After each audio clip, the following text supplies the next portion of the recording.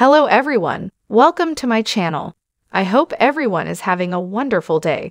See Kourtney Kardashian for the fans' new video. Please go ahead and hit the subscribe button. Kourtney Kardashian, 44, pleasantly surprised her fans by revealing her pregnancy during a Blink 182 concert in Los Angeles in June.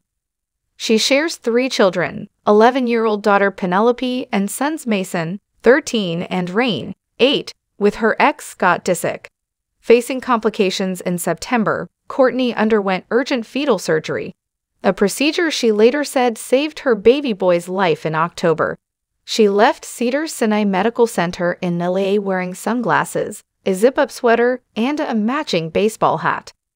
TMZ's picture shows her in a luxury black car's passenger seat. Travis driving them from the hospital, both were dressed in black. Whether their baby boy was present at the time remains unclear from the image. Kourtney Kardashian Barker has an invite only policy for meeting her newborn son with husband Travis Barker. The reality TV star recently gave birth to her fourth child, her first with Travis. Surprisingly, reports indicate that even her sister, Kim Kardashian, has yet to have the opportunity to meet the newest addition to the family, named Rocky 13 Barker. Source told the Page Six. Travis Barker is the new Ick. Blink 182 drummer visited Kourtney and their newborn at an LA hospital. He was criticized for playing drums to his unborn baby's heartbeat. Kourtney shared the video on her Instagram story, showcasing their shared affection, captioned by him. Upon seeing the post, fans quickly chimed in, with numerous individuals stating that his drumming was a major ick.